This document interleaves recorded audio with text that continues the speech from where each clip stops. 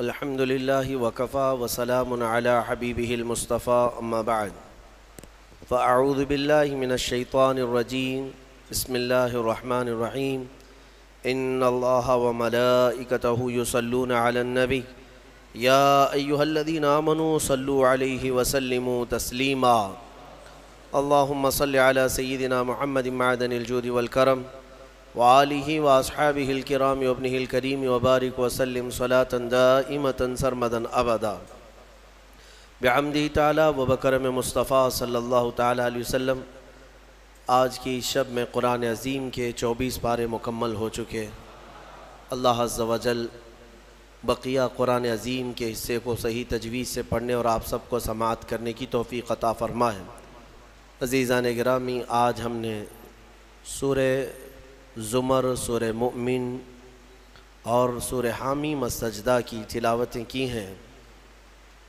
ज़ुमर, जिसमें अल्लाह तबारक ताली ने वही जहन्नमियों के और जन्नतियों के अहवाल बयान फरमाए। कल जैसे मैंने बताया था वसी वसीक़ल्लदीन कफ़रू इला जहन्नम ज़ुमरा। कुफ़ार को खींच करके लाया जाएगा, गिरोह दर गिरोह। पूरे जमातों के जमातें आएँगी, इनको खींच कर लाया जाएगा, दरवाज़े पर पहुँचेंगे। हत्ता इदा जा ऊहा फतहत अबवाबुहा, जैसे ही ये लोग पहुँचेंगे, जहन्नम के दरवाज़े खोल दिए जाएँगे। खोल दिए जाएँगे। वक़ाल लहम ख़ज़नतुहा, और जहन्नम के जो दरबान फरिश्ते हैं, वो इनसे पूछेंगे इन कुफ़ार से अलम या अतिकुम रसुल मिनकुम? यतलून अलैकुम आयाति रब्बिकुम? क्या तुम्हारे पास कोई रसूल नहीं आए थे? जो तुम्हारे रब की आयतें तुम पर तिलावत करते थे? वयुन दिरुनकुम लिका यौमिकुम हादा। और वो रसूल आज के इस दिन से तुम्हें नहीं डराते थे? कोई आए थे या नहीं आए थे तुम्हारे ज़माने में? सवाल होगा उन लोगों से। तो फिर वो क्या कहेंगे जहन्नम के दरवाजे पर पहुंचकर? कालू बला। कहेंगे, क्यों नहीं? हाँ आए तो थे। लेकिन इन्होंने झुटला दिया, मज़ाक किया अम्बिया के साथ। फिर उन पर अजाब जो है वाजिब हो गया और उन्हें कहा जाएगा कीलत खुलू अबवाब जहन्नम खालिदीन फ़िहा। कहा जाएगा, जहन्नम में दाखिल हो जाओ हमेशा हमेश के लिए, हमेशा के लिए, नॉन एंडिंग। कभी ख़त्म नहीं होगा। वो सौ साल है कि हज़ार साल है कि लाख साल है कि करोड़ साल है, हम नहीं कह सकते। हमेशा हमेश के लिए दोजख में चले जाएँगे कुफ़ार फिर अल्लाह ताला आयतों में फरमाता है, वसीक़ल्लदीन तक़ौ रब्बहुम इलल जन्नति ज़ुमरा। फिर जो अल्लाह से डरते थे दुनिया में, मुत्तकियों की जमात, ईमान वालों की जमात, ये भी लाए जाएँगे जन्नत की तरफ़। ये भी जमात दर जमात आएँगे। हत्ता इदा जाऊहा व फतहत अबवाबुहा। जब ये मोमिन मोमिन दरवाजे पर पहुँचेंगे, जन्नत के दरवाजे खोल दिए जाएँगे। जन्नत की खुशबू 500 साल की मसाफत दूर से ही आ रही होगी। जन्नत की खुशबू। अभी 500 साल की मसाफत हो सकती है। इतनी दूर से जन्नत की खुशबू महसूस कर रहा होगा मोमिन। और जब वहाँ पहुँचा होगा तो फिर खुशबू का हाल क्या होगा? दरवाजे खोल दिए जाएँगे। वक़ाल लहम ख़ज़नतहा। और इनसे भी जन्नत के दरबान पूछेंगे, कहेंगे। जैसे दोजखियों को जो फरिश्ते हैं, वो बहुत सख्त फरिश्ते हैं। दोजख पर जो मामूर हैं, बहुत सख्त फरिश्ते हैं। दोजख के दरबान का नाम हज़रत मालिक है, जो दारोग जन, दारोग दोजख उनको कहा जाता है। वैसे कई फरिश्ते मुकर्र हैं। उनमें जो सरदार फरिश्ते हैं, उनका नाम हज़रत मालिक है। वो सख्त किस्म के फरिश्ते होंगे। और फिर जन्नत के जो दरबान हैं, वो हज़रत रिजवान हैं। जन्नत के दारोगा फरिश्ते हैं, सरदार फरिश्ते जो हैं। जन्नत के सारे दरवाज़ों के उमूर जिनके हाथ में हैं, वो हज़रत रिजवान, वो भी फरिश्ते हैं। जब मोमिनीन वहाँ पहुँचेंगे, दरवाजे खोल दिए जाएँगे, इनसे भी वो दरबान फरिश्ते कहेंगे। क्या कहेंगे? वैसे नहीं। क्या तुम्हारे पास रसूल नहीं आए से? क्या तुम्हें आज के दिन से डराया नहीं गया था? बल्कि दरवाजे खोलते ही वो क्या कहेंगे? वो काल लहुम खजन तुहा सलाम फरिश्ते कहेंगे, अल्लाह की सलामती हो तुम पर, आ जाओ। तिब तुम फद खलूहा खालिदीन। मुबारक हो तुम्हें, आओ अंदर हमेशा हमेश के लिए। जो जन्नत में जाएगा, वो भी हमेशा के लिए जाएगा। वो माहम बिखारी जी न मिनहा। कोई भी जन्नत से निकाला नहीं जाएगा। जन्नत में जाने के बाद फिर एग्जिट नहीं है। कोई नहीं आएगा। जो वहाँ गया, वो हमेशा रहेगा। फिर सारे मोमिनीन क्या कहेंगे? सबसे पहले जन्नत में जाते ही। वक़ालू अल्हम्दुलिल्लाह। सब मोमिनीन कहेंगे, अल्हम्दुलिल्लाह। हमारे मौला का रब जलाल का, अल्लाह का शुक्र है, तमाम तारीफ़ें उसके लिए हैं। अल्लदी सदकना वादहू जिसने अपना वादा सच कर दिखाया हमें। हम उससे दुनिया में डरते थे और उसकी जजा में आज मौला ने हमें जन्नत अता कर दी। जन्नत क्या है मेरे अजीज़ों? आज तक उसको किसी आँख ने देखा नहीं, किसी कान ने। उसके मिसल कोई चीज़ सुनी नहीं। हाँ मुस्तफ़ा करीम सल्लल्लाहु अलैहि वसल्लम से जो हमने सुना है, जन्नत की नियामतें क्या हैं? वहाँ पर किस अंदाज से महल्लात तामीर हैं? एक एक महल जो जन्नतियों को दिया जाएगा, उसकी दीवारें एक सोने की ईंट से, एक चांदी की ईंट से इस तरह तामीर की गई हैं। ज़मीन मुकम्मल नरम ज़ाफ़रान से और घर, महलों के अंदर जवाहरात, याकूत जमरत लुलू और न जाने मरजान कौन कौन से कीमती पत्थरों से महल को सजाया गया है। एक छोटे महल की बात कर रहा हूँ, फिर हर महल के अंदर नहर जारी होगी। जन्नात इन तजरीम इन तहती हल अनहार। वो ऐसे बागीचे तुम्हें दिए जाएँगे जिनके नीचे नहरें बह रही होंगी। वो नहरें किस तरह की? उन नहरों के मुतालिक कहा गया है दूध से ज़्यादा सफ़ेद पानी और शहद से ज़्यादा मीठा होगा। और जो उससे पानी पी ले, वो कभी प्यासा ना होगा। ला नज़म उबादह अबदा। उसके बाद कभी प्यास ना लगे, अगर उससे दुनिया में एक किसी को पिला दिया जाए। वो जन्नत की नहरें, एक एक का सब, एक एक जन्नती इन सब चीज़ों का मालिक है। फिर उसके बारे में सूर्य वाक़या में मिलता है, ये कैसे बैठे होंगे जन्नती? कुरान पाक सूर्य वाक़ पढ़ो तो आपको समझ में आएगा तुल्लतुम मिनल अव्वलीन व कलील मिनल अला सुरुरिम मौदूनतिन मुत्तकीन अलैहा मुतकाबिलीन। शरीर यानी दीवान लगाए होंगे उनके, गद्दे बिछाए गए होंगे, बहुत ही आला किस्म के, पूरी दुनिया के बादशाह मिलकर वो दीवान नहीं खरीद सकेंगे। उनके पास उस तरह का दीवान कभी आया नहीं होगा, जन्नतियों को बिठाया जाए। एक जन्नती उस पर मसहरी पर बैठे होगा। मुत्तकीन, टेक लगाए बैठे होंगे। ये जन्नत के अहवाल बयान हो रहे हैं। टेक लगाए बैठे होंगे और आमने सामने होंगे दूसरे जन्नती भी।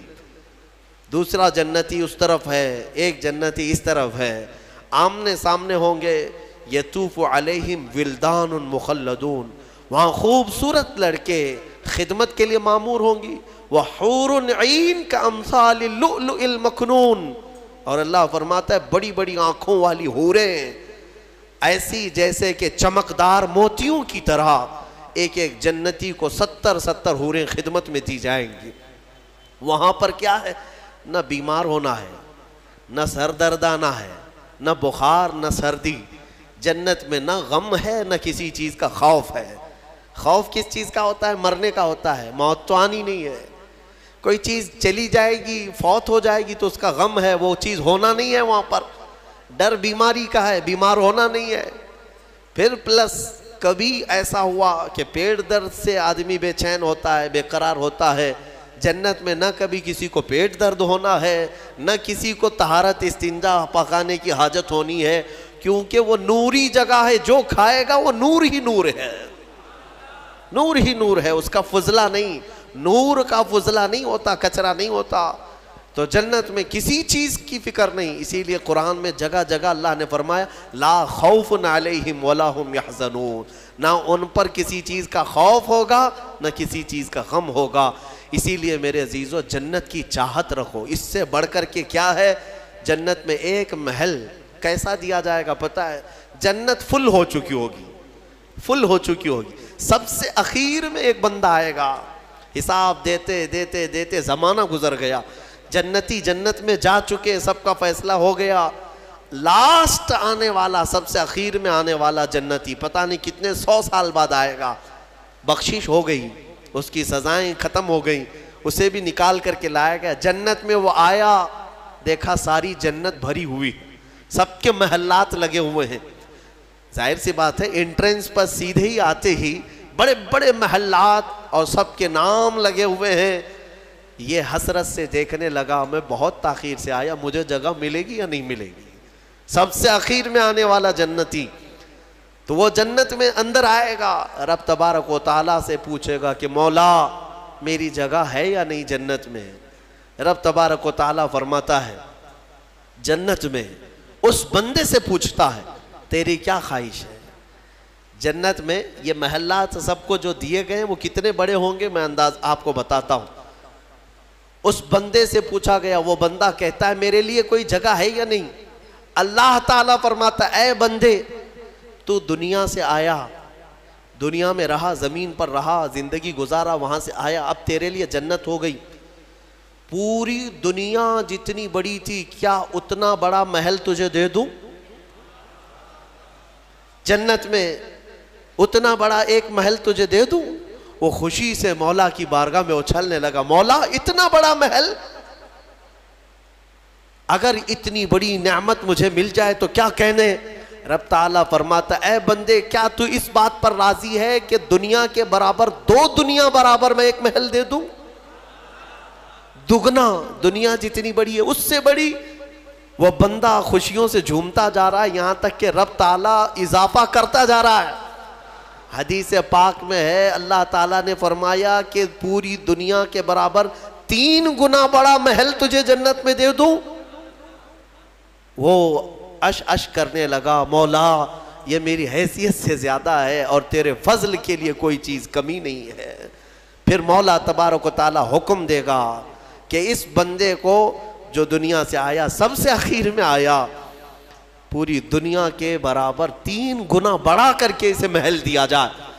ये सबसे आखिर में आने वाले का है, जो शुरू में जा चुके होंगे, उनके महल्लात कितने बड़े होंगे। और जन्नत की वसात को तुम अंदाज़ा भी नहीं कर सकोगे। वो कितनी बड़ी है, कितनी चौड़ी है, न तुम्हारे कैलकुलेशन में आ सकेगा, न हिसाब में आ सकेगा। जन्नत को किस कदर फैलाया गया है? मेरे अजीज़ों अब नियामतें ऐसी हैं कि अल्लाह ताला फरमाता है, जन्नती जब जन्नत में जाएँगे, कुल्लमा रुजिकु फ़ीहा मिन थमरत रिस्कन कालू हादल्लदी रुजिकना मिन कबल। जिस चीज़ की ख्वाहिश होगी ना, वो उनका खाना वहाँ सामने रखा होगा। फल खाने की ख्वाहिश, वो, जो खाने की ख्वाहिश करेंगे जन्नती, वो वहाँ पर खिदमतगार जन्नत में लाकर उनके सामने रख देंगे। और फरमाया गया कि हर बार एक ही किस्म के फल की तरह, शक्ल एक ही होगी और मज़े अलग अलग होंगे। एक ही चीज़ लाई जा रही है। तो जन्नती, हो सकता है आपने सेब खाने की ख्वाहिश की, लाया गया। बाद में केला खाने की ख्वाहिश की गई, फिर वैसे ही सेब की तरह ही शक्ल लाई गई। फिर बाद में आपको गोश्त खाने की ख्वाहिश हुई, तब भी सेब की तरह ही चीज़ लाई गई। तो जन्नती कहेंगे कि ये क्या है? जब जब हमें रिस्क दिया जा रहा है, एक ही तरह का दिया जा रहा है। तो रब तबारक ताला कुरान में फरमाता है, कुल्लमा रोजिको मिनहा मिन समरत रिस्कन कालू हादल्लदी रुजिकना मिन कबल। कहेंगे, वो ऐसा ही हमको इससे पहले भी मिला था। अल्लाह फरमाएगा, वो ऐसा नहीं है। वो उतु मुतशाबी हा बल्कि उससे मिलता जुलता है। लेकिन तुम खाओ, जो तुम्हारे मन में लज्जत चाहिए, वो इसी में मिल जाएगी। जन्नत की नियामतों को हम कैसे बयान कर सकें? मेरे अजीज़ों फिर उससे बड़ी नियामत ये है कि जन्नती के लिए इतनी आज़ादी इतनी आज़ादी कि वो पूरी जन्नत में जहाँ चाहे घूमे फिरे, सैर करे, वहाँ के जन्नत की नियामतों को देखे, जन्नती की कभी ख्वाहिश होगी, वो अर्ज़ करेगा कि मौला, मैं सैर व तफरी के लिए तेरी अलिया के दरबार देखना चाहता हूँ, उसे ले जाया जाएगा। अल्लाह ताला के जो महबूबीन हैं अलिया उनके पास जन्नती को ले जाया जाएगा। मेरे अजीज़ों, वो क्या सुहाना मंजर होगा जब तुम गौसे पाक को भी देख रहे हो, गरीब नवाज़ को भी देख रहे हो। जिसे चाहते हो, उसे देखने की गरज से तुम जन्नत में तफरी के लिए, सैर के लिए निकले होंगे। यहाँ तक कि जन्नती ख्वाहिश करेगा कि मौला, मैं तेरे रसूल के सहाबा देखना चाहता हूँ। मौला, मैं तेरे अम्बिया के महल्लात देखना चाहता हूँ। ले जाओ इसे इब्राहिम सलाम के पास, मूसा सलाम के पास, ईसा सलाम के पास। जितने अम्बिया हैं, सबके दरबार में जाता रहेगा, जन्नत में सैर करता रहेगा। वो वक्त भी कैसा होगा जब तुम ख्वाहिश करोगे, मौला मैं मोहम्मद रसूलुल्लाह के महल में जाना चाहता हूँ। कहा जाएगा, ले जाओ, वो जन्नतुल फिरदौस के आला मकाम पर होंगे अपने सहाबा के साथ। लेकिन ज़ियारत तुम्हें भी होगी। रसूल करीम सल्लल्लाहु अलैहि वसल्लम के दरबार में भी जन्नती पहुँचेंगे। हर एक को देखेंगे, फिर जानते हैं जन्नत की सबसे बड़ी नियामत क्या है? सबसे बड़ी नियामत क्या है? जन्नत की सबसे बड़ी नियामत यह है कि रब तबारक ताला फरमाएगा, बंदे सब की तूने जियारत की, अब हिजाबात हटाता हूँ तो मेरा भी दीदार कर ले। अल्लाह रब्बुल इज़्ज़त वहाँ पर हिजाबात हटाएगा और बंदे के लिए सबसे बड़ी नियामत यह है कि जन्नत में बंदा अपने रब का दीदार करेगा। वजूह यौम ईद नादिरा इला रबिहा नादिरा। कुरान में अल्लाह फरमाता है, वो चेहरे कैसे चमक रहे होंगे जो अपने रब की तरफ़ खुशहाली में देख रहे होंगे, मौला को देख रहे होंगे। और एक रिवायत ये भी मिलती है, जन्नतियों को उस दिन ये कहा जाएगा, क्या जन्नतियों, आज तुम कुछ सुनना पसंद करोगे? कहेंगे, मौला, तेरी हमद, तेरी सना, तेरे हबीब की तारीफ़। दुनिया में गाने बजाने नहीं सुनते थे बचते थे अपने कानों को, बचाते थे। जन्नत में उन्हें सुनाया जाएगा। किससे? कहा जाएगा, हुरान जन्नत को कि अपनी सुरेली आवाज़ से इन्हें नगमाते तोहीद सुनाओ। अल्लाह ताला के हमद की, तोहीद की, वो सुरेली आवाज़ में नगमात सुनाती रहेंगी। जानते हैं जिसको सुनने का शौक़ होता है, वो मदहोश होता है। हाँ अल्लाह रबुल्ज़त की हमद हुरान जन्नत से सुनते सुनते सौ साल गुजर जाएँगे। सौ साल गुजर जाएँगे। फिर रब तबारक ताला फरमाएगा अह जन्नतियों, सैराब हो गए। कहेंगे, मौला, और भी हम सुनना चाहते हैं, और भी हमें सुनाया जाए। फिर कहा जाएगा, दुनिया में सबसे मीठी आवाज़ हज़रत दाऊद सलाम की थी। दाऊद सलाम, लहने दाऊदी मशहूर है। जब दाऊद सलाम ज़बूर शरीफ की तिलावत करते थे तो उड़ते हुए परिंदे आसमान में रुक जाया करते थे। पहाड़ वजद में आते थे, दाऊद सलाम की आवाज़ पर। तो रब तबारक ताला फरमाएगा, ए बंदो, क्या तुम इस बात पर राज़ी हो कि मेरे नबी दाऊद से मैं तुम्हें नगमाते तोहीद सुनाओ दाऊद अली सलाम से कहा जाएगा कि ए दाऊद, आप मेरे इन बंदों को मेरी हमद सुनाएँ। दाऊद सलाम अपनी मीठी आवाज़ में, जब नगमाते तोहीद गुनगुना रहे होंगे, सौ साल गुजर जाएँगे, पता नहीं चलेगा, पता नहीं चलेगा। फिर मौला ताला फरमाएगा, सैराब हो गए, तुम सैराब हो गए। जन्नती कहेंगे, मौला, तेरी हमद और बयान हो तो अच्छा है। अब हाँ और हम सुनना चाहते हैं। रब ताला फरमाएगा, फरिश्तों, हिजाबात, हटाओ, मैं खुद सुनाऊं, मेरे बंदे सुनेंगे। मौला करीम, क्या वो मंजर होगा? इसीलिए जन्नत में जाने की तड़प रखो, तलब रखो। ऐसे नहीं कि यहाँ पर चार दिन की अयाशी के लिए जन्नत को कुर्बान कर दिया। यहाँ तुम घूम फिर करके, खूब मेहनत करके भी अगर कुछ हासिल कर लिए तो कितना कर लोगे? कितना जी लोगे? मरना तो है तुम्हें। मरना है। सत्तर साल, अस्सी साल, सौ साल जियोगे, उसके बाद क्या है? मौत तो आनी है।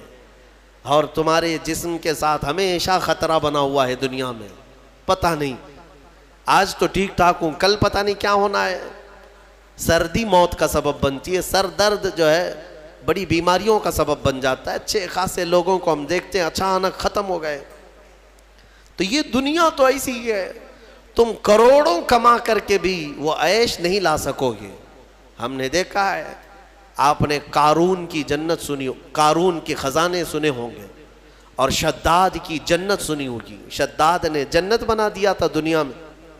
जन्नत का मतलब वो सुन सुन करके उसने भी सोने चांदी की ईटों से महल बना दिया, अंदर बागीचे लगा दिया नहरें जारी कर दिया लेकिन शद्दाद उस जन्नत में कदम तक नहीं रख सका, उससे पहले मौत आ गई।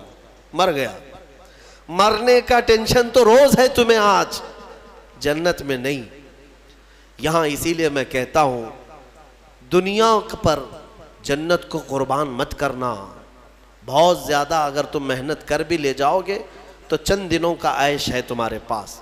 ये माल, ये मता, या औरतें, ये बच्चे कुरान कहता है जुयन लन्ना से हब्बुशहवात मिनसा वलबनीन वलक़नातिर मिनदहबी वलफ़ा वलखैल मुसवमती वलअनाम वलअर्द का दुनिया।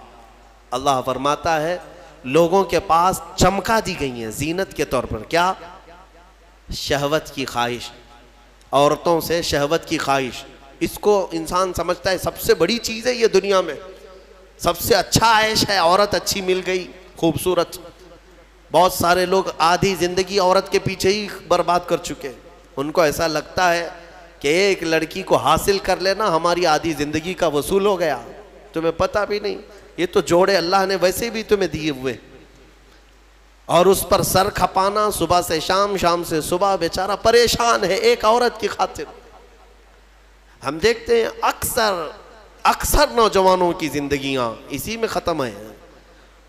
वो इसे मोहब्बत समझते हैं, इसे इश्क समझते हैं। दीवानों, ये जिस्मों के मिलाप को मोहब्बत और इश्क कहाँ करे हो? मोहब्बत और इश्क एक बहुत ही मुकद्दस अल्फाज है, मुकद्दस अल्फाज है। हाँ सिर्फ़ आदमी अपने जिस्मानी सुकून को हासिल करने के लिए, अपनी शहवत को पूरी करने के लिए मोहब्बत का नाम दे रहा है। मोहब्बत क्या है? मोहब्बत थोड़ी ना है। औरतों की ख्वाहिश में आधी ज़िंदगी ख़त्म हुई। ये वही लोग तो हैं जो शादी से पहले न जाने कितने रातें जागते थे पूरी पूरी रात बात करते थे। पता नहीं कितने कितने वादे माहदे एग्रीमेंट हुआ करते थे। शादी के आठ दिन के बाद फिर ज़िंदगी चेंज है। हो सकता है चंद महीने अच्छे बिता लिए हों।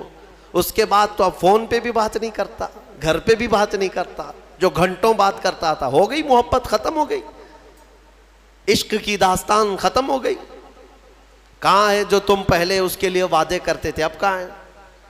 मेरे अजीज़ो, जिस्मों के मिलाप को जो तुम नाम दे रहे हो, इसी को कुरान कहता है हब्बुश शहवाती औरतों से शहवत पूरी करने की ख्वाहिश है ये। ख्वाहिश है। और उसके बाद अल्लाह ताला फरमाता है, वल बनीन, और बेटों को बेटों के ज़रिए से आदमी फ़ख्र करता है दुनिया में। मेरे इतने बेटे हैं, मैं उसके इतने बेटे हैं। अरबों में भी यही था। बेटे पैदा हो तो उस पर फ़ख्र करना। दुनिया इस पर फ़ख्र करती है, इसी को माल समझती है। वलकनातीर मुकंतरत मिनदहबी वलफ़ा और सोने चांदी के जेवरात। इसको समझते हैं कि दुनिया है हमारे पास, बहुत माल है यह औरतों की आदत है। वो इसी हौड़ में लगी रहती हैं, पूरी ज़िंदगी। बुढ़ापा आ गया, बाल सफ़ेद हो गए, बूढ़ी हो गई, लेकिन सोने की हवस नहीं गई। अभी भी कान की बालियाँ चाहिए, चूड़ियाँ चाहिए, नथनियाँ चाहिए। चाहे वो कब्र में जाने से एक दिन पहले भी क्यों ना हो, और अम्मा जी सोना किसी को दे देंगी? नहीं होता, कभी नहीं होता। वह उसके लिए जान से ज़्यादा हिफाजत करने लग जाती है। यह सूना, इसको भी कुरान कह रहा है, ये दुनियावी मता है। जिस पर तुम फख्र कर रहे हो, सोने और चांदी के जेवरात। अंदाज़ा भी नहीं, ये ये कब्र में जाते ही सांप बन जाएँगे ये। हाँ अल्लाह ताला फरमाता है, वल्लदीन यकनिजून दहब वलफिद्दा जिन लोगों ने सोना और चांदी को खजाना किया, जमा किया, वला युनफिकून हाफी सबीलिल्लाह। जो अल्लाह की राह में उसकी ज़क़़त नहीं देते थे। फ़बशिर हम बे अजाबिन अली अल्लाह फरमाता है हबीब इनको दर्दनाक अजाब की बशारत दे दो जो लोग सोना चांदी इकट्ठा करके रखते हैं। क्या किया जाएगा? योमा योहमा अलीहा फ़ी नारी जहन्नम फतुकवा बिहा जिबा हम व जुनूब हम व जहूर हम अल्लाह फरमाता क़यामत के दिन जहन्नम की आग भड़का करके उनकी पेशानियाँ उनके पीछे का हिस्सा उनके बाजुओं को दागा जाएगा। ये जा, सोना चांदी के ज़ख़ीरा अंदोज़ी पर हाँ ज़क़़त दे दिया है तो फिर सौ तोले भी पहने रहो। हमें क्या फ़र्क पड़ता है? अगर उसका हक अदा करते हो तो फिर जितना रखना है रखो। तीन चीज़ें, और अल्लाह फरमाता वल अनाम वल हर्स सवारियाँ।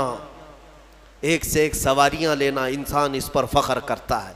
अरबों में भी था, पहले भी था, आज भी। वो घोड़े लेते थे, ऊँट लेते थे, आज तुम मर्सिडीज और ऑडी पे फख्र करते हो। कि हमारे पास बड़ी बड़ी कारें आ जाएँ? सेम है ज़माना। ऊँट उस वक्त महँगी सवारी थी। आज तुम्हारे लिए मर्सिडीज है। इन महँगी सवारियों पर फख्र करते हैं आज। और फिर उसके बाद वल हर्स और खेती बाड़ी जायदाद। ज़मीनें तुम्हारे पास कितनी है? तुम्हारे पास कितनी है? आज के ज़माने में इस पर भी फ़ख्र है ना। हमारे पास कई लोग तारुफ भी ऐसे ही करवाते हैं। इंट्रोडक्शन हज़रत ये फलां साहब है। इनके बीस एकड़ जगह है। हाँ बीस एकड़ जगह है। इसी पर इनका पूरा इंट्रोडक्शन होता है, तारुफ होता है। ये बाद में कहा जाएगा कि ये मर्द है, ये इंसान है, ये मुसलमान है। पहले है कि इनकी बीस एकड़ जगह है, ये फ़ख्र है। दुनिया में इन्हीं चीज़ों पर फ़ख्र किया जाता है और अल्लाह फरमाता है राली का मताउल हयात दुनिया। ये सब दुनिया का मता है। वल्लाह इंदा हो और अल्लाह के पास जो है वो सबसे बेहतर है। वहाँ क्या है? अल्लाह ताला फरमाता है, कुल अनबी उकुम बखैर मिन दालिकुम ए महबूब, आप फरमाते हैं, क्या मैं तुम्हें बताऊँ, इन सबसे बेहतर क्या है तुम्हारे लिए? इन सबसे, ये जो चीज़ें जो तुम फ़ख्र कर रहे हो, इनसे बेहतर क्या चीज़ है? अल्लाह फरमाता है कि मरने के बाद, क़यामत के दिन तुम्हारे लिए जन्नात इन तजरीम इन तहती हल अनहार खालिदीन फ़ीहा व अजवाज मतहरतन व रिदवान तीन चीज़ें अल्लाह ने फरमाया। तुम अगर सबर कर ले जाओ यहाँ पर, वो बागीचे दिए जाएँगे जिनके नीचे नहरें बह रही हैं। वहाँ की हवाएँ मस्त और कैफ इम्बसात की वो खुशबुएँ तुम्हें मस्त कर देंगी। फिर क्या है? वह अजवाज मुतहरतुन पाकिज़ा बीवियाँ दे जाएँगी। पाकिज़ा बीवियाँ जन्नत में उनके बाद फिर तुम्हें ख्वाहिश भी नहीं होगी दूसरों से। वह रिजवान उमिन अल्लाह और सबसे बड़ी चीज़ ये है कि अल्लाह की रज़ा दी जाएगी। मौला अगर राज़ी तो फिर क्या चीज़ चाहे तुम्हें? सारी चीज़ें तुम्हारी है। इसीलिए मेरे अजीज़ों, खुलासा मैं इस तफसीर का इस बात पर करता हूँ कि इस छोटी सी दुनिया पर जन्नत को कुर्बान मत करना। इतनी बड़ी नियामत जो तुम्हारे लिए अल्लाह ने वादा किया, वो बहुत करीब है, बहुत करीब है। बल्कि तुम्हारी आँखें बंद होने से पहले भी अल्लाह ताला अगर तुमसे राज़ी हुआ तो जन्नत में तुम्हारा ठिकाना भी आता, दिखा देगा। दो भाई थे, दो भाई थे। शाहरह मुस्लिम ने उनका नाम लिखा है। एक का नाम रिबई था, रिबई बिन हराश, और दूसरे रबी दोनों ताए के बुज़ुर्ग मुहदस हैं। दोनों भाइयों में एक बार तकरार होने लगी। किसी बात पर बहस हो रही थी। और दोनों ने कसम खा लिया आज के बाद हम हंसेंगे ही नहीं। ना हंसने की कसम खाए और कब तक नहीं हंसेंगे। दोनों ने कहा, दोनों की बहस ये हो रही थी कि तुम्हारे अमाल क्या जन्नत में जाने तक लायक हैं? तुम किस तरह के अमाल कर रहे हो? दूसरे ने कहा, तुम्हारे हैं इस लायक हैं। तो दोनों ने कहा, हमें तो पता नहीं, लेकिन आज के बाद से। छोटे भाई ने कहा, मैं उस वक्त तक हंसूँगा नहीं, जब तक जन्नत देखूँगा नहीं। जब तक जन्नत नहीं देखूँगा, तब तक हंसूँगा नहीं। बड़े ने कहा, ठीक है, यही कसम मेरी भी, मैं भी उस वक्त तक नहीं हंसूँगा, जब तक जन्नत नहीं देखूँगा। ज़िंदगी उनकी ऐसी गुजरी कि उन्होंने मुस्कुराया भी नहीं, इस कसम के बाद।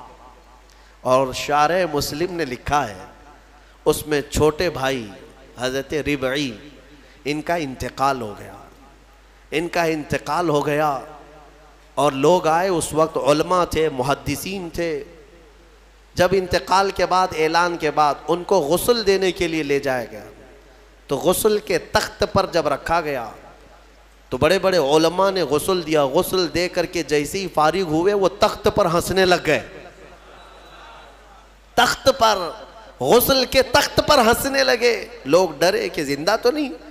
लोगों, उनके बड़े भाई ने कहा, ज़िंदा नहीं है, वो अपनी कसम पूरी कर चुका है। दूसरे बड़े भाई हज़रत रबी जो थे, इनका भी इंतकाल हुआ। उलमा कहते हैं मुहदसिन कहते हैं, इनके इंतकाल के बाद इनको गसल भी दिया, कफन भी दिया। फिर जब कब्र में रखा गया, तब वो हंसने लगे। बुज़ुर्गों ने फरमाया, इन दोनों ने कसम खाई थी, उस वक्त तक हंसेंगे नहीं, जब तक जन्नत देखेंगे नहीं। छोटे ने गसल के तख्त पर जन्नत देख लिया, बड़े ने कबर की गोद में जन्नत देख लिया। मौला करीम, वो अफू व गफूर है, रहीम है, तुम्हें दुनिया से जाने से पहले पहले वो महल्ला दिखा देगा। इसीलिए तलब उसी की रखो। अल्लाह तबारक व हमें जन्नती अमाल की तोफ़ी ख़ता फरमाए। वाखिर दावाना अलहमदिल्ला रबालमीन